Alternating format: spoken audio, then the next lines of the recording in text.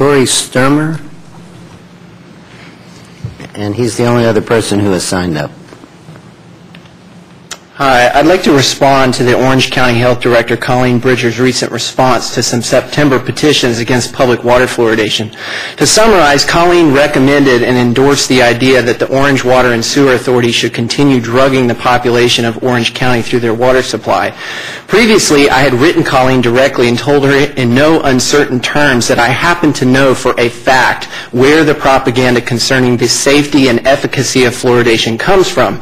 However, this did not keep her from submitting to us the very propaganda which I had preemptively pointed out has been used ad nauseum by the government for the last 60 years. Safe and effective, safe and effective, safe and effective. Colleen seems to think she can just repeat this mantra often enough and we will just magically believe it.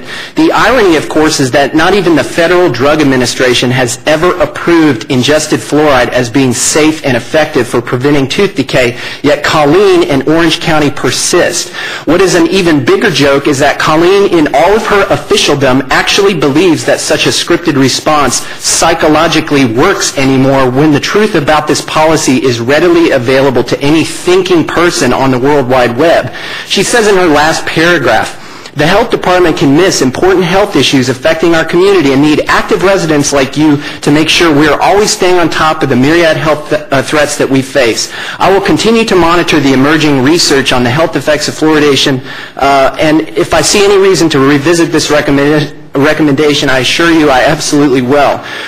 Well, Colleen, you don't need to monitor the emerging research because it has already emerged. I spoke and wrote specifically about the precautionary principle, which states if there is a lack of scientific consensus that a particular policy is not harmful, then such a policy should be abandoned immediately.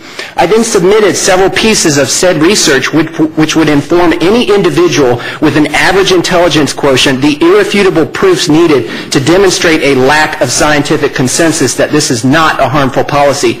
Therefore, the response from Colleen should have been much simpler, like, thanks, Corey, you're correct. We're going to stop OWASA from fluoridating the water immediately. The Orange County Health Director instead relied on, um, instead of relying on peer-reviewed and respected publications like Harvard, the Lancet, and even the Center for Disease Control study on dental fluorosis, depended on nebulous endorsements by the American Dental Association retired Professor Gary Rozier and Dr. Cummings of the Health and Human Services to justify her recommendation. The very same ilk I identified beforehand as being the ones who would supply the pro-fluoride propaganda which was eventually shoveled to us. Who, who is she and vicariously you kidding with this crap. Colleen made no effort whatsoever to actually address with any specificity the statements made or questions posed in the 16 minutes of petitions presented last month. Furthermore, she did what is so typical of government bureaucracies these days, offload the burden of proof onto some other agency. In this case, she relieves her, herself of any actual liability by pointing to the infamous OWASA board, who was at the center of this debate last year when many other Orange County citizens had brought this issue to their attention. They too deferred to other state bureaucracies to avoid liability.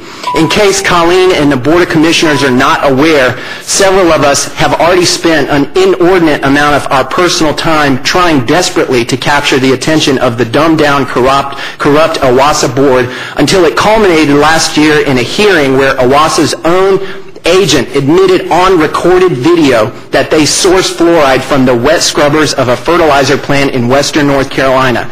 If OWASA was not compromised, do you honestly think we would be here before you today? Giving him a minute. We deserve, deserve a public referendum. The response from Colleen was pathetic, and I appreciate your consideration. Thank you, sir.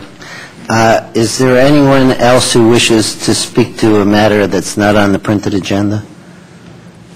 As Mr. O'Leary knows, if we have a petition, we refer it uh, to agenda review, and we come back with a response. I will say that uh, our referral to the uh, health director was a recognition of what we mentioned last time, which is that the county commissioners have no control over anybody's water treatment plant or water supply, Uh, and that it might be more appropriate to direct your comments or request for a public hearing to the Board of Health. But we'll discuss that and get back to you.